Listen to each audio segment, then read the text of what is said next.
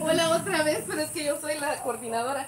Esta es la consulta externa. Este es el edificio que ocupaba el Centro de Recuperación eh, Nutricional y aquella es la casa materna. Toda esta parte está ubicada para hacer la, la atención de consulta externa. Esta es la bodega de biológico, el área de vacunación, suplementación y captura de niños menores de 5 con algún problema de desnutrición. Ella es la educadora del programa. ¿Cómo de- detectan el, el- el caso de un niño con desnutrición? ¿Cuál es el circuito? Ah, en... Una madre viene y cree que el niño está desnutrido. ¿Cuál es el? Ingresa primero, viene para acá para la vacunación, acá se le hace la recepción de carnet y luego pasa a consulta con los pediatras. Si alguno de los dos pediatras detecta que está bajo peso, entonces ya lo refiere con la nutricionista y hacen el monitoreo. Ah, Ella hace básicamente control de peso, la educadora. Si también ella detecta acá que hay bajo peso, entonces vamos con la nutricionista y ella es quien hace la clasificación. ¿Cuánto personal trabaja aquí? Aquí en la consulta vemos 39 personas. ¿Cuántos pediatras hay en este momento? Dos. ¿Y ginecólogos no hay aquí? Aquí no tengo ginecólogos, tengo un médico general que hace la consulta, eh, dos pediatras y un médico de medicina general para atención de pacientes crónicos. ¿El horario de, de atención aquí para la gente? 8 a 4 y media. Una De hora ocho. de almuerzo que tiene el personal, ¿verdad? De 8 de la mañana a 4 y media de la tarde. Ajá. De lunes a viernes. De lunes a viernes. Aunque hay un equipo que entra a las 7 porque la gente está acá desde las 6 de la mañana. Entonces a las 7 el archivo ya empieza a trabajar. Entonces el resto de los servicios abre a las 8. ¿Hay algún grupo que salga a los municipios a buscar eh, casos de nutrición o toda la gente tiene que venir aquí? Nosotros estamos organizados en 10 territorios de atención, entonces hay 10 equipos básicos que tienen educador y visitan el 100% de comunidades al mes para hacer captación de niños con bajo peso. ¿Quiénes conforman estos equipos de captación? Una enfermera profesional, dos o tres auxiliares de enfermería, depende de la población que tenga el territorio, y un educador Eso es por equipo. por equipo. Esos son O los sea que equipos. son 10 equipos conformados como me lo acaba de decir. Ah, sí. Ah, sí. 10 equipos. ¿Qué insumos le llevan los, eh, eh, ya llevan insumos estos equipos? Cada, cada territorio tiene una bodega de medicamentos con la lista básica del primer nivel de atención.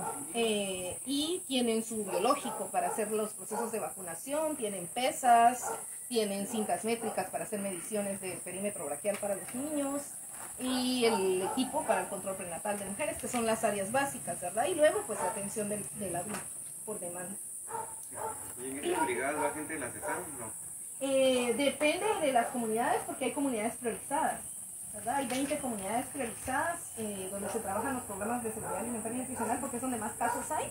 Entonces ahí es a donde la CESAM va y si hay casos de algún niño, de un caso nuevo, la CESAM viene y hace, ayer por ejemplo hicieron visitas con la estadística de niños desnutridos aquí, ¿cuál es? Tenemos 20 niños activos, 11 están en tratamiento ya de seguimiento, que ya salieron del, del bajo peso, y los otros sí están todavía en proceso de desnutrición, pero están con tratamiento. Estos 20 seguimiento. fueron captados durante este año o durante este mes. No, durante el año. Los 20 casos son de este año. Por estadísticas en el sistema usted va a encontrar 80, pero es que hay problemas en la digitación, ¿verdad? Que como la ¿Cuál es fecha tiene que ver, que es el sistema, el sistema de registro web. Entonces cuando la fecha no se ingresa en el momento, por un par de días nos los ponen como que el peso no fuera el correcto, pero es básicamente. ¿Tienen, tienen casos crónicos de? Sí, tenemos alrededor de 60 niños con Este nutrición crónica que también son vigilados por la nutricionista. Los educadores hacen seguimiento en comunidad. ¿Y muerte, y muerte por desnutrición crónica este año? Este año un caso, pero tenía que ver básicamente también con una enfermedad cardíaca, congénita, Pero agravada. pero agravada por la desnutrición. ¿Y cuando necesitan hospitalización? ¿A dónde van? No le pagaron. Cuatro años, pero a Joaquín no le pagaron. Cuatro años trabajando aquí y no lo pagaron. Sigue, tra- Sigue trabajando. Sí, ahí estamos metidos. sigue trabajando que está luchando. Doña María es una... eh, ella hace un trabajo voluntario con nosotros para salud, ¿verdad? Pero ella estaba trabajando para la municipalidad. Ajá. Entonces creo que ahí hubo alguna O sea, que no situación en relación a contratos. Ella es empleada municipal. Bueno, no activa no, porque tiene Ya, un proceso legal. La municipalidad es la que no le ha pagado. Sí, Hace cuatro años. cuatro. ¿Cómo se llama usted? María, pues sí. Doña María. ¿Y ya tiene trámite eh, empezado con el Ministerio Público o Ministerio de Trabajo? ¿Quién- ¿Alguien está llevando el caso? Traducirles a Abelardo. Agis kaya nataktahin. Eh, el caso de ella es que cuando en la administración anterior, en la administración anterior, eh, estaba trabajando en la casa de... Para que Kaya kung siya ang trabaho ka rin sa na po. Kung siya ko sa nakpan. Ana Ochocha. Kahit siya, porque porque na di check tayo.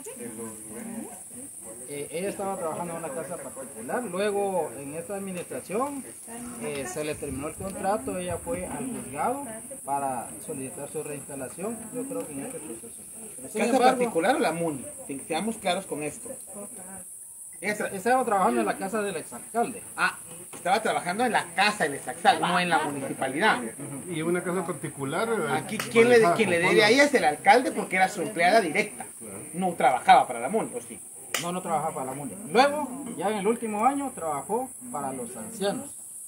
Eso es lo que ella relata.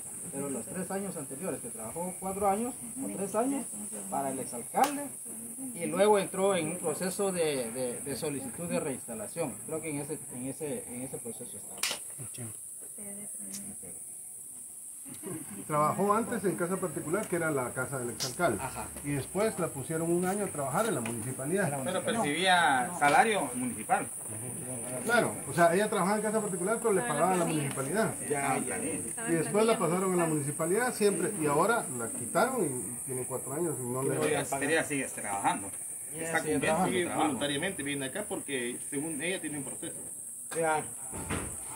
¿Quién está dando el acompañamiento legal? Ani, ani es abogado que va a firma, licenciado, para, para que cheque, Barrio, no. Varios. Ani, ani licenciado Sino de diskikam. Ah, el eh, ex abogado de, de Rodi Méndez, ya falleció, de Barrio. falleció de Ya varios. se fue su casa a la zona. ¿Alguien puede apoyarle con este caso a la señora? Se le puede apoyar. Decíselo. Porque si no te dice, la- se le murió el abogado, díganlo. Eh, Ana María, en la, en la, la caso de cuando se juzgaba, ni kushana más na pali tiempo yo tambal, o tentona la jera chican, o ta poca que chican helak sali. Sa chali po portal, kama helak chak, o anak kwang mak ala to, banak tentona kanak kwang, ta poca que chito fek, banak, eh, pili chak, siya na ta poca que chito fek, ha ta ka kuy pinan kwang. Hampir Kuy kayak ka, narut, narut, ilma, ikin bimak atili awga, narut ilpal kunak Vamos a hacer una investigación. Primero para establecer por qué le estaba pagando la municipalidad si estaba trabajando en una casa particular. Ajá. No para principiar. En segundo lugar, ella dice que son cuatro años los que ha trabajado sin que le paguen. Los tres años que trabajó en la casa particular no le pagaron. Y el año que trabajó en la municipalidad tampoco le pagaron. Así, así entiendo yo que es la cosa. Porque tiene cuatro años de trabajando y no le pagan. La niña, Ah. Entonces, da tus teléfono, toque para que ella...